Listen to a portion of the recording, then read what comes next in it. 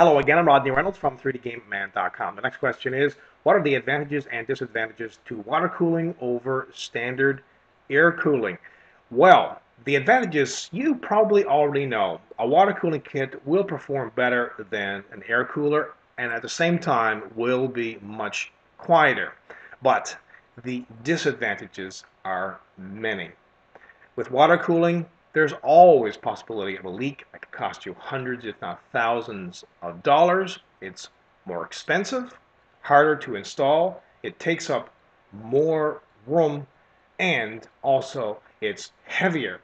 Now, if you're an enthusiast and you know your way around computer systems and you really want to get the maximum overclock out of all your computer equipment, but you still want your computer to remain quiet, definitely go into water cooling. But if you're a novice and you really are not experienced installing computer hardware, I really wouldn't recommend doing it. However, there are some really good all-in-one compact water cooling kits out there and they make it much easier to install. But that still doesn't mean that there's not a possibility of a leak. That's always the case. Now, how do you prevent that? Always, always, always, when you get a water cooling system, test it outside of the system for 24 to 48 hours before you install it inside the system.